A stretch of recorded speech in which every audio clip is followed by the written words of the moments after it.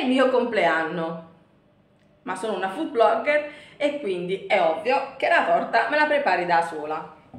Allora, per festeggiare il mio 35 compleanno, come da 13 anni a questa parte, ho deciso di preparare una torta tiramisù alle pesche. Volete vedere come prepararla? E Shumaren!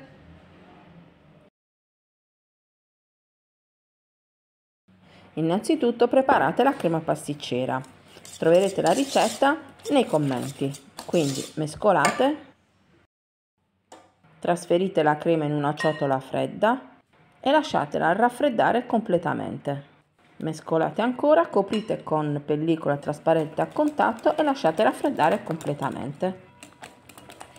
Per fare la torta tiramisù alle pesche avremo bisogno dell'anello dello stampo a cerniera che andremo a sistemare direttamente sul piatto di portata. Quindi tagliamo i eh, savoiardi a misura, quindi dell'altezza dell'anello a cerniera.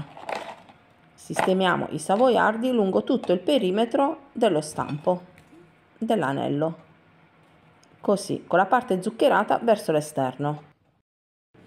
Quando la crema sarà fredda e lo stampo sarà ricoperto, procediamo con la preparazione e quindi andiamo ad aggiungere sul fondo del piatto uno strato di savoiardi imbevuti nel succo di frutta alla pesca. Dobbiamo ricoprire tutta la superficie del piatto. Così. Adesso la crema pasticcera sarà fredda e quindi aggiungiamo il mascarpone poco alla volta e mescoliamo. Naturalmente potete utilizzare delle fruste elettriche. L'importante è aggiungere il mascarpone poco alla volta. Così. Mescolate oppure montate fino a quando otterrete una crema pasticcera al mascarpone, quindi senza uova crude, così densa, liscia e vellutata. Ecco quindi trasferite metà del composto nel piatto sui savoiardi bagnati. Distribuite bene la crema.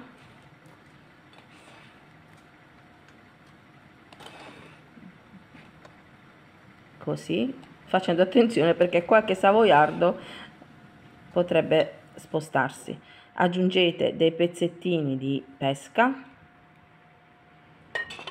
Naturalmente potete sostituire le pesche con l'ananas e quindi intingere i savoiardi nel succo d'ananas. Sistemate ancora uno strato di savoiardi.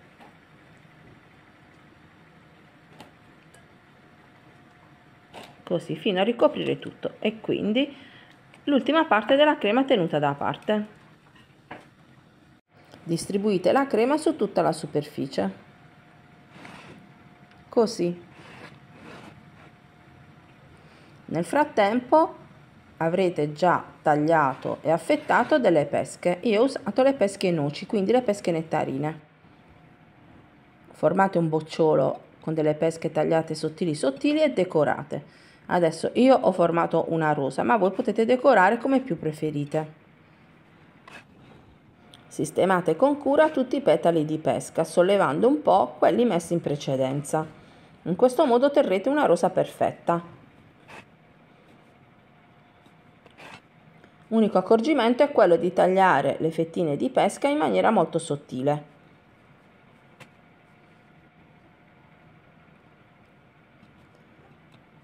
Quindi una volta decorata tutta la torta si presenterà così.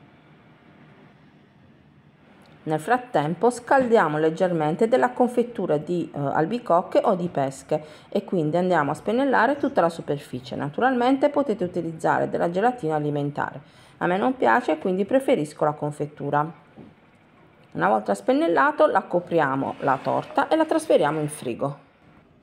La mia torta di compleanno è pronta e quindi tanti auguri a me. Ciao!